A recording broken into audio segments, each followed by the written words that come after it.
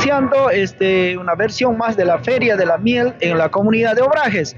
Bueno, número 26 desde 1998 estamos organizando esta Feria de la Miel y bueno, invitamos a la población a que acudan a poder eh, adquirir esta, este producto que es muy saludable para, la, para las personas. Entonces vamos a tener eh, miel en kilo, en medio kilo, en cuarto kilo, miel en líquida, miel en panal.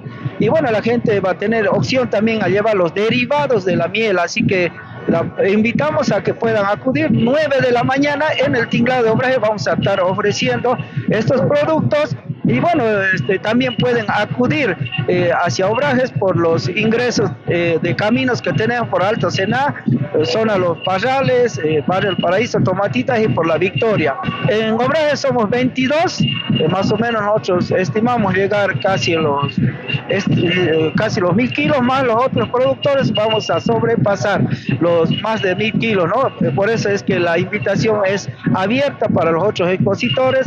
El único requisito es que lleven su envase con identificación y su número de celular. Seguramente el que adquiera este producto va a tener el número de celular y bueno, cuando le gusta el producto va a hacer nuevamente, va a llamar para poder adquirir más. Sí, es un producto con mucha demanda, eh, traemos al mercado interno y bueno, es un producto que tiene mucha demanda y bueno, seguramente la gente que vaya va tratar de traerse varios kilitos de miel de esa zona. La producción de miel que necesitan con prioridad para mejorar esta, este rubro. Bueno, más que todo es la naturaleza, la, la vegetación, ¿no? Porque la materia prima es la flor de la vegetación. Entonces, y también estamos recibiendo apoyo de, las instituciones públicas, asesoramiento.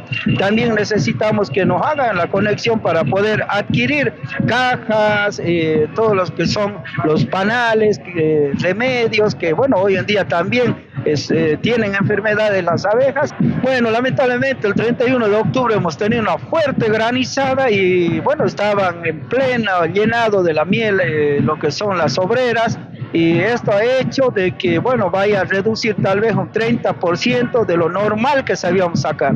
¿Hay una granizada ha matado a las abejas? Así es, eh, ha matado a, parte de la abeja porque ha sido casi a las eh, 4 de la tarde la granizada y bueno, eso eh, eh, empeoró en este caso.